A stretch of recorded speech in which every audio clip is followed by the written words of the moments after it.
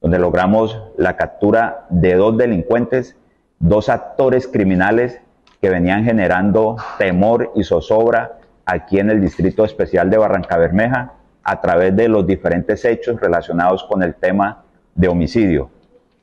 El primer capturado es Carlos Alberto Flores Mejía, de 26 años de edad, conocido en el mundo delincuencial como alias Goku y alias Búcaro. Este sujeto, este sujeto sería el dinamizador de los diferentes hechos relacionados con el tema de homicidio aquí en nuestra jurisdicción y Cristian David Suárez Sánchez Rentería,